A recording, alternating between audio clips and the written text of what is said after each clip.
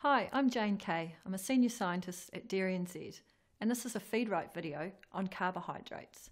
Now, in this video, we will talk about the different types of carbohydrates, what happens when a cow eats carbohydrates, and how carbohydrates impact on cow production and performance. So, what is a carbohydrate? All plants contain carbohydrates, and these provide the main energy source for the dairy cow.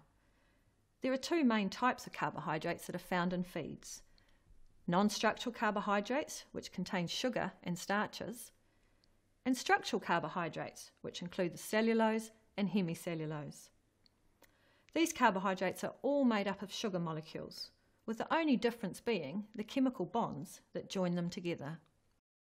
These can be compared with building Lego, where the individual Lego blocks are the simple sugars that make up the carbohydrates.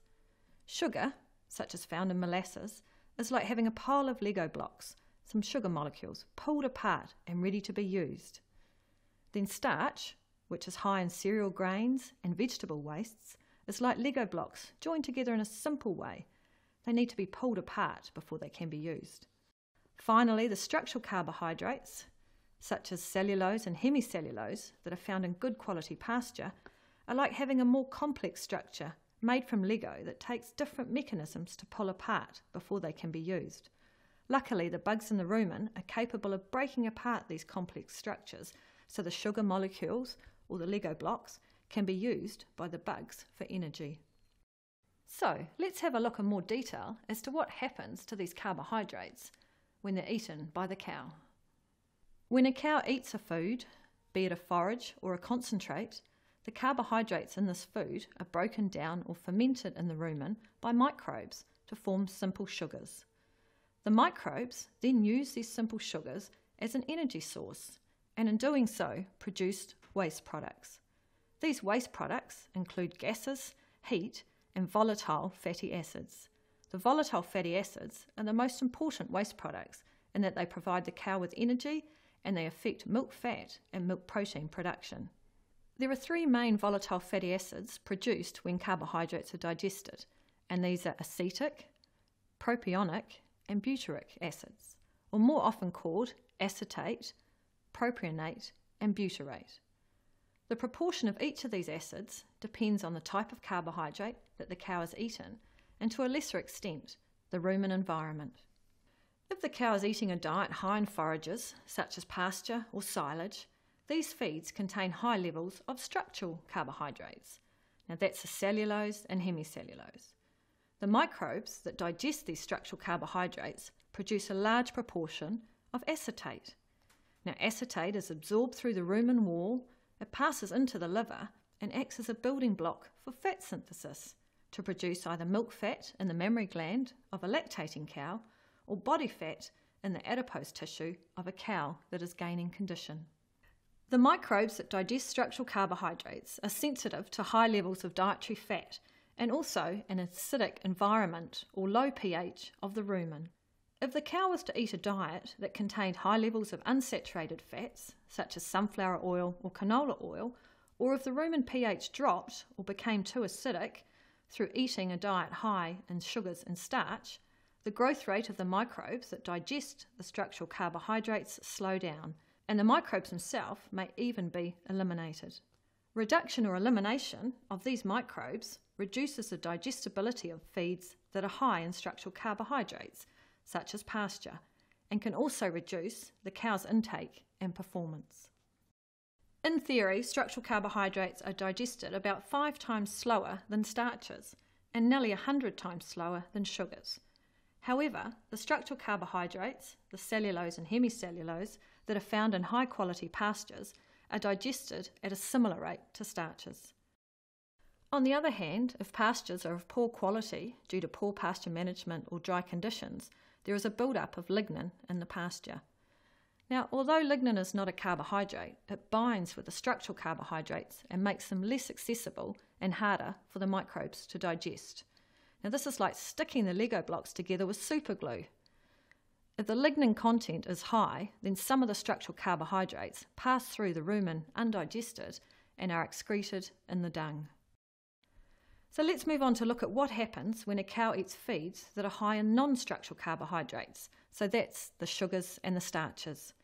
Feeds high in sugar include molasses and fodder beet, while feeds that are high in starch include cereal grains such as barley, wheat, or maize. The microbes that digest starch are different from the ones that digest the structural carbohydrates. They primarily produce propionate as their waste product. Now, the propionate that's produced in the rumen makes its way to the liver, where most of it is converted to glucose. Now, the liver is the sole source of glucose production for the dairy cow, of which she has a high demand, particularly for milk production. In a lactating cow, a large proportion of the glucose that has been produced in the liver is transported to the mammary gland, where it is used to form lactose, which is the main driver for milk volume. What we also see is that if we increase the amount of glucose produced, we see increased insulin, and among its other functions, this results in an increase in the uptake of amino acids into the mammary gland and an increase in milk protein production. So, a diet high in starch, one that contains cereal grains, will result in more milk volume and more milk protein. If high levels of starch are eaten, lactic acid can also be produced. Now, propionate and lactic acid reduce the pH or the acidity of the rumen, which, as mentioned before, is detrimental to the microbes that digest structural carbohydrates. In contrast, the microbes that digest the starch are not sensitive to a low rumen pH. Consequently, feeding the high levels of starch in the diet, such as barley or grain, can result in a build-up of microbes in the rumen that continue to lower the rumen pH, and this can eventually result in rumen acidosis. If for some reason some starch is not digested in the rumen, it passes through to the small intestine, where the dairy cow only has a limited capacity for digestion and absorption. Therefore, only a small proportion of any undigested starch is absorbed from the small intestine and contributes to the glucose pool in the liver. The remainder, like with undigested structural carbohydrates, is excreted in the dung. Finally, the microbes that ferment soluble sugars, a carbohydrate that is high in feeds such as molasses, are similar to those that digest starch. However, these feeds are generally digested at a faster rate and cause less problems with increased acidity in the rumen. Digestion of sugars results in the production of propionate and butyrate.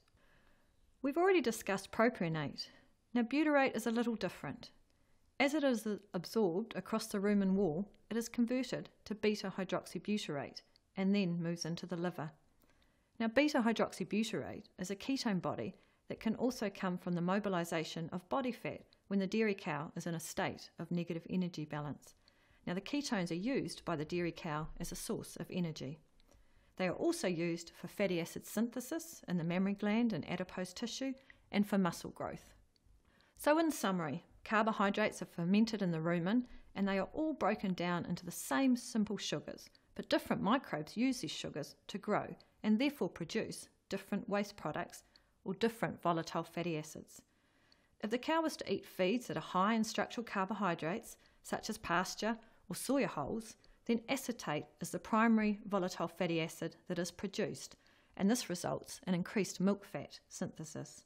If the feed was high in starch, such as maize grain, this results in increased propionate and subsequently an increase in milk protein and milk volume. Feeding high levels of sugar, such as in fodder beet, will result in an increase in butyrate production and a subsequent increase in milk fat. Diets that are too high in non structural carbohydrates, so that's your starch and your sugar, or if these feeds are introduced into the diet too quickly, they also produce lactic acid, which can lower rumen pH and result in rumen acidosis. So, by the end of this video, you should be able to name the three different types of carbohydrates, describe what happens to these when the cow eats them, and how they impact on cow production and performance.